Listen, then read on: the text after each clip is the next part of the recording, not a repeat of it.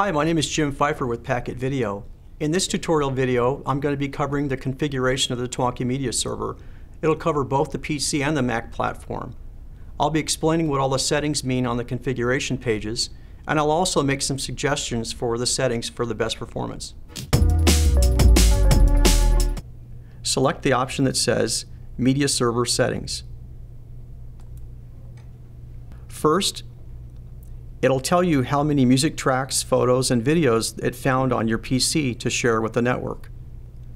Also, it tells you information about your license and whether the server is registered or not. It tells you whether the server is up.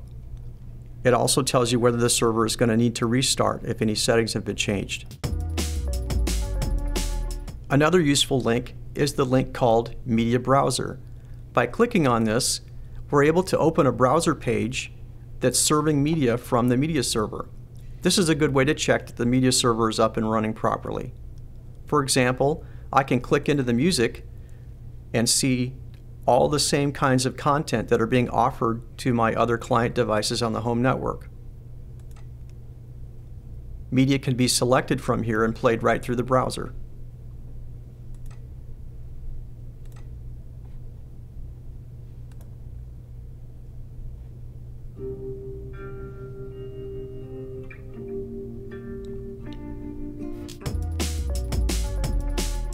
Next, we'll go into the basic setup settings. Under First Steps, in here you can set the language setting. So right now mine is set to English, but you can set this to a number of different languages. There's also the server name. This is the name that you give to the server that's visible to the other client devices in the home network. For example, I've got mine set to my Twonky server, so if I go over to my PlayStation 3, I should see a server advertising itself called My Twonky Server, and I know that the content from there is coming from this particular one. There's also a navigation tree setting, and you can see that by default mine is set to Advanced Default Navigation. You can actually change this to a number of different types of navigation trees. For example, you can set the iPod-like or by folder setting, and what this does is it affects the way the metadata is exposed from this server to the other client devices. So if I set it as iPod-like, then when I go to my PlayStation 3, the navigation tree will actually look very much like an iTunes library. On the sharing page, there's actually a couple of different areas that to make note of. One is the list of content locations. In content locations, it's showing the path names to all the different content that's on your server that it's being shared from. For example, on the PC platform, by default, it picks the My Documents area, My Music, to look for all of your music content. My Pictures is, is listed as the place for all your photos and so on.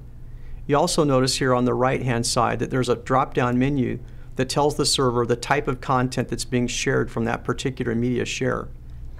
For example, uh, music only is the setting for my music folder, pictures only for my pictures folder, and so on. If I want to add a new folder, I simply hit the browse button here. I navigate to the place of my content, and I hit select. And now I've got a setting here that says on my C drive it's called My New Music, and I want to set my content type to music only. One thing to note on these filters here is that it's it's a suggested way to set up the server so that you don't mix your photos and your music together. For example, if I were to put my photos and my music and set this to all content types, then you have a situation where the media server might actually grab some of your album art and think that that's photos because it's a JPEG or something like that. So it's good to keep them separated like this. Below that is a setting called rescan in minutes. This setting actually tells the server how often to look for new content in your media shares up here. By default on the PC platform, that's set to minus one. Minus one tells the server to automatically detect new content as it's added and scan it as it's added in. So on the PC platform, it's set by, to minus one by default. This is where the Mac platform is a bit different. On the Mac platform, the ability to auto-detect new content in this way is not actually enabled. So on the Mac platform, you'd want to set this to a value, uh, some positive value. I would suggest using something like 5. What that would mean is that every five minutes, it'll actually go and look for new content in your media shares and index it and add that to your list of content that's shared out of the server. For other tutorial videos covering the Twonky Media products, please see the Packet Video YouTube channel, or for other information, visit www.twonkyforum.com. Thank you.